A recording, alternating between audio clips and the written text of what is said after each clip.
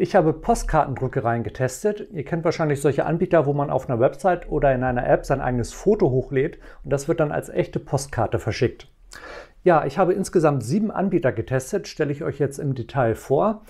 Vier Druckereien waren private Anbieter und drei Postkarten-Apps kamen von staatlichen Postgesellschaften, und zwar österreichische Post, luxemburgische Post und PostNord.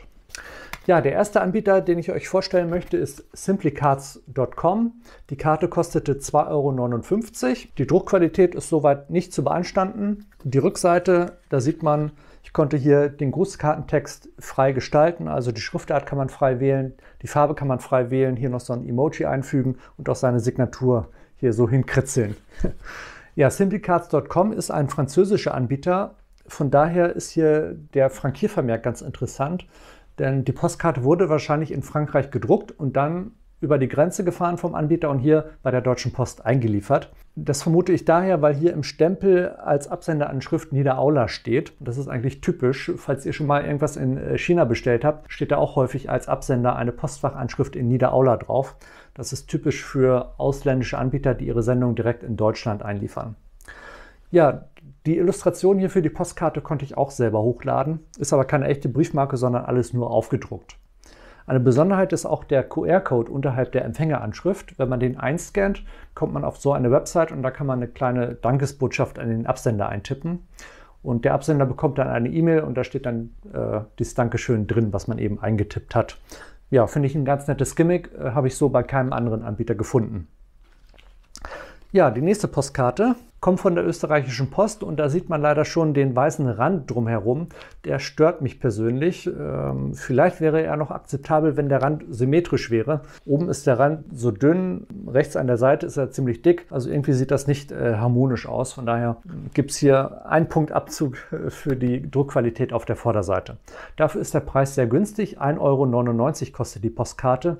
Egal, ob man sie innerhalb Österreichs oder weltweit verschickt. 1,99, das ist der preiswerteste Anbieter im ganzen Vergleichstest hier. Ja, eine echte Briefmarke gibt es nicht. Da ist hier so ein Hundmotiv eingedruckt. Äh, als Kunde kann man das Motiv auch nicht ändern oder auch kein eigenes Motiv uploaden. Den äh, Grußtext hätte ich hier noch abändern können. Ich habe hier Areal in schwarzer Schrift genommen. Ich hätte auch eine andere Schriftart oder eine bunte Farbe auswählen können. Diese Karte ist vom Marktführer mypostcard.com, ein deutsches Unternehmen. Die haben äh, Druckereien auf der ganzen Welt. Also falls ihr meine Postkarte nach Australien verschickt, ist die Wahrscheinlichkeit hoch, dass MyPostcard die Postkarte direkt in Australien vor Ort druckt. Die Druckqualität ist nicht zu beanstanden, Vorderseite einwandfrei. Rückseite, äh, ja, da stört mich immer dieses große MyPostcard-Logo unter der Empfängeranschrift. Ich finde, das ist zu groß und wirkt ein bisschen unseriös, wenn da so ein großer Werbeeindruck drin ist. Dafür ist gut, dass eine echte, äh, eine echte Briefmarke verwendet wurde, Briefmarke individuell und auch ein echter Stempel aus dem Briefzentrum.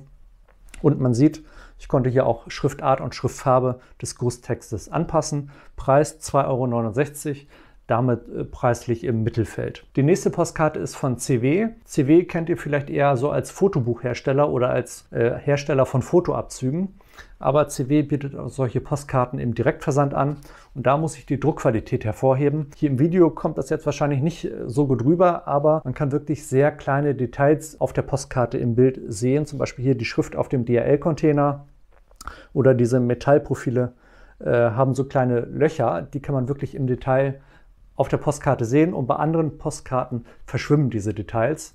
CW hat also hier wirklich die beste Druckqualität, würde ich sagen, im Vergleichstest. Dafür ist die Rückseite sehr langweilig. Hier gar keine Briefmarke, nur so eine Frankierwelle. Und hier bei der Adressierung fällt mir auf, dass eine Absenderadresse muss sich im Bestellprozess zwangsweise angeben. Und die Absenderadresse wird hier oberhalb der Empfängeranschrift eingedruckt. Und was mir aufgefallen ist, es fehlt die Zielkodierung, also dieser orange Strichcode, der normalerweise äh, unten am Rand von Postkarten oder Briefen eingedruckt wird, der fehlt hier bei CW. Könnte ich mir vorstellen, dass vielleicht die Sortieranlage nicht unterscheiden konnte zwischen Absenderanschrift und Empfängeranschrift. Ist aber nur eine Vermutung. Der Preis 2,59 Euro und auch hier kann man Farbe und Schriftart des Grußtextes frei einstellen. Die nächste Postkarte ist von urlaubsgruß.com und als die zugestellt wurde, habe ich mich ein bisschen erschrocken, weil hier links am Rand so ein weißer Streifen frei ist. Da habe ich gedacht, Mensch, hast du da irgendwie einen Fehler gemacht beim Bildupload? Aber kann eigentlich nicht sein, weil ich habe die Bilder immer nur hochgeladen bei den Anbietern und an der Bildgestaltung habe ich eigentlich gar nichts verändert. Also hm, Tja, ich will jetzt Urlaubsgruß hier nicht beschuldigen. Vielleicht habe ich wirklich einen Fehler beim Upload gemacht. Von daher nehme ich hier den weißen Rand auf meine Kappe. Sieht in jedem Fall nicht so schön aus. Die Rückseite wird eine echte Briefmarke verwendet, Briefmarke individuell, genauso wie bei MyPostcard, auch ein echter Stempel aus dem Briefzentrum und hier kann ich auch wieder Schriftart und Schriftfarbe individualisieren. Der Preis 2,38 Euro äh, gehört eher zu den günstigen Anbietern. Der nächste Anbieter ist die Postkarten-App der Luxemburgischen Post. Äh, das war der teuerste Anbieter im Vergleichstest. 3,84 Euro hat diese Postkarte gekostet.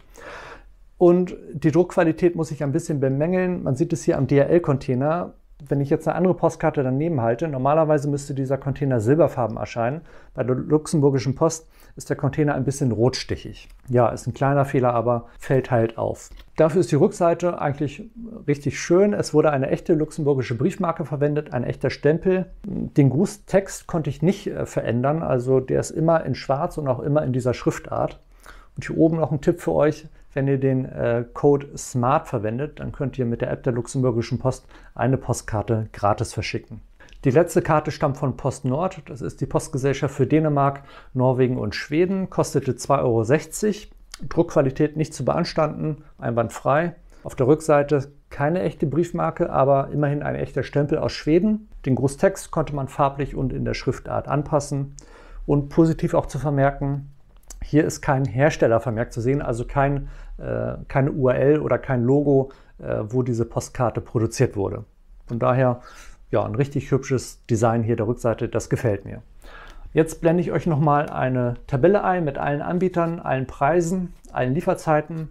Und ich muss dazu sagen, den Anbieter postalo.de konnte ich jetzt nicht ausführlich testen. Ich habe da zwar auch am Montag eine Postkarte bestellt, aber die kam heute bis Freitag leider nicht an. Von daher ja, fehlte dieser Anbieter im Test. Ich will dem Anbieter jetzt nicht unterstellen, dass er die Postkarte nicht verschickt hat, aber ja, ich habe keine Postkarte vorliegen, von daher konnte ich Postalo leider nicht testen.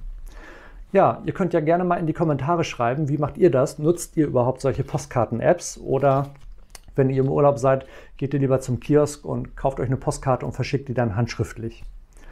Ja, hinterlasst gerne mal einen Kommentar und sonst abonniert auch gerne den Kanal von paketda.de.